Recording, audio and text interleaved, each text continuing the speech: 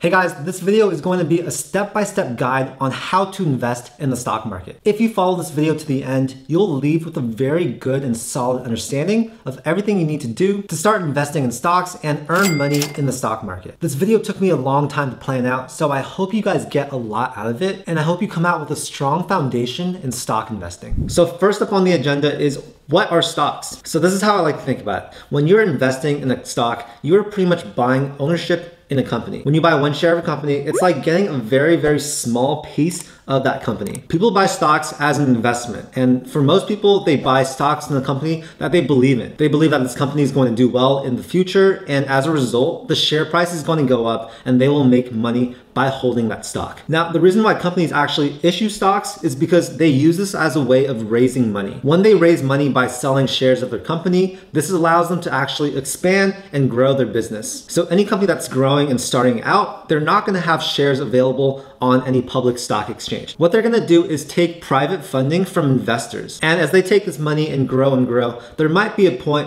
where they think, hey, we can actually start selling our shares of our company on the public stock exchange instead of taking this private investing money. It's just different ways to raise money and expand your business. So when the company does go public, outside investors are able to come in and purchase individual shares of their company. And as a result, this company gets more funds coming in. They can use that money to make more money and hopefully reward their investors. To reward investors, companies can pay dividends based on the profits that they receive, as well as buying back shares of their own company. And when they do this, they're essentially going out there buying their shares, and this reduces the available uh, inventory of stocks. So the supply goes down, and this normally will increase the price of the shares, which you know rewards investors in another way. So yeah, that's a little overview of what stocks are. Next up, we're gonna talk about whether or not right now is a good time for you to actually invest in stocks. And a lot of this depends on assessing your current financial situation. More specifically, we're gonna be looking at how much debt you have and how much money you have in general. So for a lot of people that have a lot of debt, right now might not be the best time to start investing your money. Chances are that the debt you have comes with a pretty high interest rate. So you'll wanna see how much you're paying in interest on this debt that you have. Now, federal student loans will generally be pretty low, um, probably under 5%. For private student loans, those are generally a bit higher, between 5 and 7% interest. And lastly, if you have credit card debt, then that's probably extremely high, at least 15 to 20%. My general rule is if you have a debt that's over 5%, Typically, and the safe way is to actually just pay that off right now. By doing that, you are guaranteeing a return of that percent just by paying off that debt, especially credit card debt, you guys. Like if you have credit card debt, get that paid off as soon as you can. You don't want to be paying 15 to 20% interest on that. And also carrying a balance on your credit card is not good for your credit score. Now, I'm not saying don't invest at all. I still think it's smart to invest and sort of get the ball rolling and learn as you do it. What I am saying is prioritize paying off those debts uh, invest a little bit into the stock market, but don't invest a significant amount of money that you have. Now, besides an emergency fund and besides a small amount of money that you should have in your checking and savings accounts just to pay your bills, a majority of your money otherwise should be in assets. And I'm talking real estate, investments, stocks, your business, anything that can generate money. Yeah, so for most people, take a look at your current financial situation and determine how much money you realistically have to invest in the stock market. This is the first step that a lot of people actually overlook overlook. And it's extremely important to know your financial standing and therefore how much money you should be investing right now. Okay, next up is the fun part. And this is actually opening up a brokerage account. I'm going to really prioritize the step because the fact is that a lot of people never get over this hump. They never open up a brokerage account, and as a result, they never invest in stocks. The funny thing is, it's actually a lot easier to open up a brokerage account than many people think. I'm all about taking action, and if you want to become rich, if you want to invest your money, then you have to open up a brokerage account even if you don't think you are ready to do so yet. So the first step in opening up a brokerage is just choosing which brokerage you want to use. To be honest, it really does not matter what brokerage you use. They all do the same things and any brokerage that is widely used is going to be reliable and it's going to be good enough for you. If you're just getting started in stock investing, what a lot of people like doing is opening up an account that has a good stock trading app. This way they can check their investments on their phone whenever they want and it's just a lot easier to keep up to date. Two of the most popular uh, stock trading apps are Robinhood and Webull. Both of these apps are fantastic. Like you can't go wrong with either of them. But if you haven't heard, Webull is giving out two free stocks when you open up an account and deposit $100 into it. The cool thing is that these two stocks can be worth up to $1,650. So I just like to think of it as free cash. And if you're trying to open up an account, you might as well get some free money out of it. I'll include a link in the description below on how you can get those two free stocks through Webull. And yes, I use this app for my own trading. In fact, I actually use Webull, Robinhood, TD Ameritrade, Vanguard, as well as Coinbase for my cryptocurrencies. So yes, you don't need to stick with one. You can open up multiple accounts. It really does not matter. The sign up process for each brokerage is going to be very similar. They're going to ask you personal questions. They'll require that you're at least 18 years old and they'll ask things like your address, your name, your social security number, and a bunch of other personal questions. Then they will have you create an online account, which will let you log into this account and view all your investments, buy and sell and do whatever you want. Once you submit this application to open up your account, you know, this might take five to 10 minutes. They'll have to go through and approve it. This might take a day or two, but after that, you'll be ready to start buying and selling stocks. A lot of people ask me why I have so many different accounts open with different brokerages. And the reason is because I actually just separate out my investments. So for Vanguard, I like to use Vanguard for my retirement accounts. And I use Vanguard specifically to buy their long-term ETFs and index funds. Now I am a more risky person, so I do use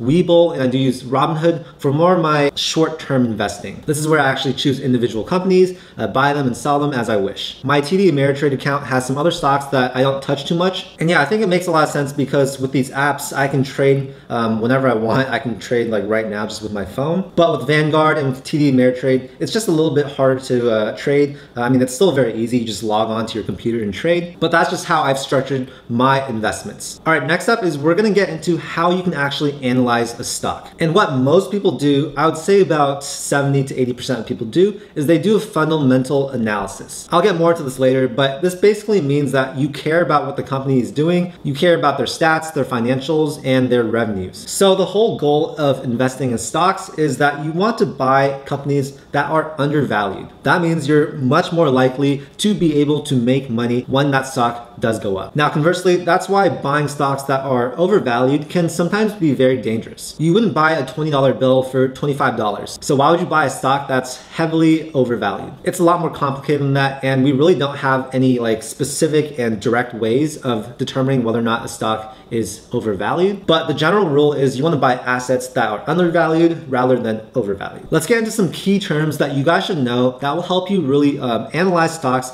and better understand my other stock videos. So first up is your PE ratio, your price to earnings ratio. Now the way you calculate this is you take the current share price and you divide that by the earnings per share. There's different types of PE ratios. For example, there's the TTM PE ratio, which is the trailing 12 months PE ratio. What they use for this formula is they take the current share price and they divide it by the earnings per share for the last 12 months. There's also the forward PE ratio, and this is when you take the current share price, so the same thing as the other one, and you divide it by the earnings per share that is projected for the future. You do this quick math and it gives you a number. So let's take a look at Apple stock, for example. Right now they have a PE ratio of 27.11. So what we do is we take the current share price, which is $322.32, and we divide that by the earnings per share, which in this case is $11.89. This is how we reach the 27.11 PE ratio. Some companies will actually not have a PE ratio if they are losing money or if they have no earnings. A low PE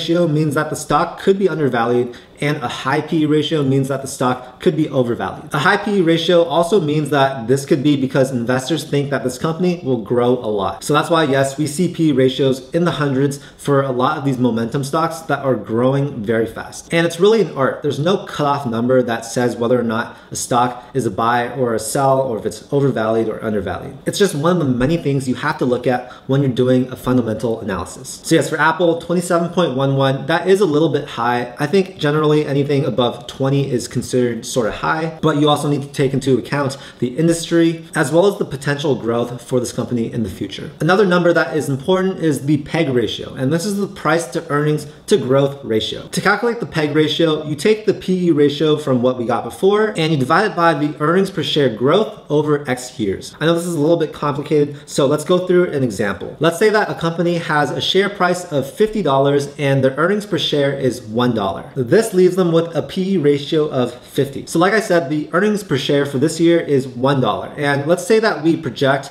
the earnings per share in five years to be $1.25. This would equate to a 25% growth rate. Therefore, to calculate the PEG ratio for this company, we are taking that 50 PE ratio and dividing it by 25. And this leaves us with a PEG ratio of just two. So you can really see how this kind of tones down the PE ratio for these high growth companies that are expected to have their earnings per share grow a lot in the next few years. Okay, next up is your ROE, and this is your return on equity. This is a measure of the financial performance of a company, and the higher it is, the better it is. To calculate your return on equity, you take your net income and you divide it by the shareholders' equity. It basically tells you how effectively management is using their assets to create profits. Now for the S&P 500, the average ROE is about 14%. So anything above that is going to be pretty good and anything I'd say uh, under 10% is going to be on the low side. Another number I really like to look at is the current ratio. And this is basically calculated by dividing the current assets by the current liabilities. It's a number that tells you a company's financial strength in the short term. So let's say a company has current assets of $2 billion and current liabilities of $1 billion.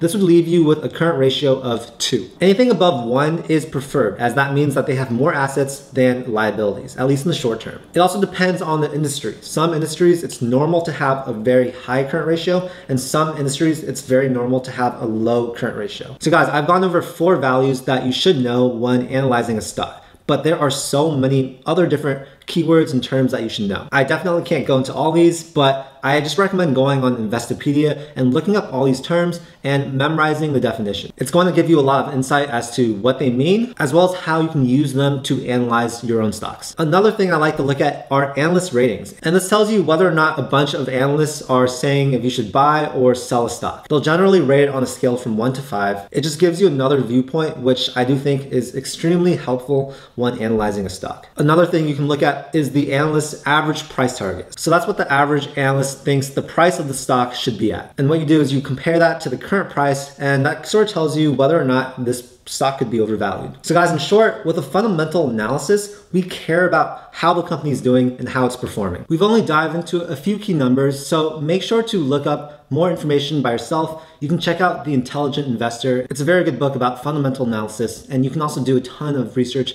online, look at these terms, memorize them, and you'll have a much better understanding of how to analyze a company. So the next method of investing that we're gonna talk about is technical analysis. And this is something that I actually don't have a lot of experience in. Technical analysis on a whole does not really care about the company itself. They don't care about the revenues, they don't care about the financials, the earnings, all that stuff. What they prioritize more is the graph. And pretty much what it is, is you're studying the price graph and you're using that to predict the future price gains or losses. So to predict these future price movements, people like to identify entry and exit points for stocks. They use trend lines, candlestick formations, moving averages, and a lot more. Basically, they're studying the market and behavior psychology and using that to their advantage. This is definitely a riskier way of investing because you can either lose a lot of money or you can make a lot of money. The one thing that you don't have on your side though is the general trend of the market going up. Now, I really encourage you, if you want to trade using technical analysis, you have to really know what you're doing. Learn all the tips and tricks, practice on a simulation account, just be a lot more careful because I think with technical analysis, a lot of things are out of your control. And if you don't know what you're doing, you won't know when to cut your losses if you're losing money, and you might let a lot of emotions get into your head when you're trying to trade. And the last thing you want when you're trading stocks, either using fundamental analysis or technical analysis is having your emotions involved. So yeah, there are pros and cons to both of these methods, but I think the important thing is to get good at one of them, whichever one you want to focus on, whichever one uh, suits your investment style, and just learn as much as you can. Do a lot of practice, and in the future, you're gonna get very good at it. Okay, now let's get into how you can find stocks to buy. I personally always say that you should have more money invested in index funds than individual companies. So what I'm gonna do in this video is just focus for maybe like 30 seconds on index funds, and then I'll go into actually picking out individual companies. So with index funds, pretty much what you're doing is you're buying one share of this index fund and it's like investing in hundreds of companies at one time. So yes, this is a safer and more diversified way of investing. The good thing is that you don't need to think too much about it. You just choose what type of fund you want and which index you want to track. And after you buy it, you pretty much just hold it and don't really think about it. This gives you long-term reliable gains, so it's very good for retirement accounts. And Warren Buffett always thinks that this is the smartest way to invest for 99% of people. You guys can check out this video I made for some of the most popular ETFs that you can invest in. All right, now let's talk about how you can actually pick individual companies to invest in. And I think one of the best things about actually having to choose companies is that it forces you to learn about what you're investing in and how you can actually analyze a specific company. So for most beginners, I like to recommend just choosing a company that you know, that you're familiar with. If there's a company that you particularly love, look at the reasons why you like it, put it on your short list of stocks that you're considering, and then do an analysis of each of these companies that you are familiar with. A key thing when investing in a company is that you should know what the company is, what they do, and their whole financials and earnings and all that stuff. This is the safest way to actually get started in investing. Chances are for these companies that you are familiar with, they're probably strong, they're probably a blue chip company, and they'll probably see good long term growth. Now, if you want to focus more on technical analysis instead of fundamental analysis, you'll have to do a lot of research and a lot of practice in order to identify companies that will do well. What I recommend doing is testing out your skills with the paper money market simulator that can be found in Thinkorswim. This allows you to do fake trades with these real companies and give you an opportunity to actually practice on the real stock market. There are also a lot of these Facebook and Discord groups where people people talk about these trending stocks, and that can give you a good idea of a short list of stocks that you want to focus on. Guys, I really have to reiterate that there's not one correct way of trading. Find what works for you and stick with that. For most beginners, I think it's at least extremely important to learn the fundamentals, learn how to analyze stocks, and then after that, maybe you can start learning the technical analysis side.